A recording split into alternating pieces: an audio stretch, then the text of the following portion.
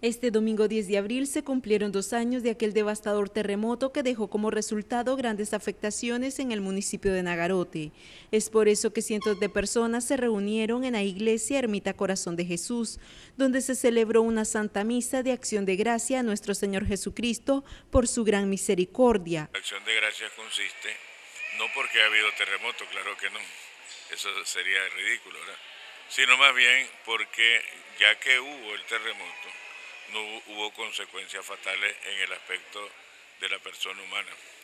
Aunque sí en las viviendas, pero gracias también a la ayuda de la municipalidad y del gobierno central, se han levantado las casas. Incluso lo mismo el templo parroquial que ya está terminándose.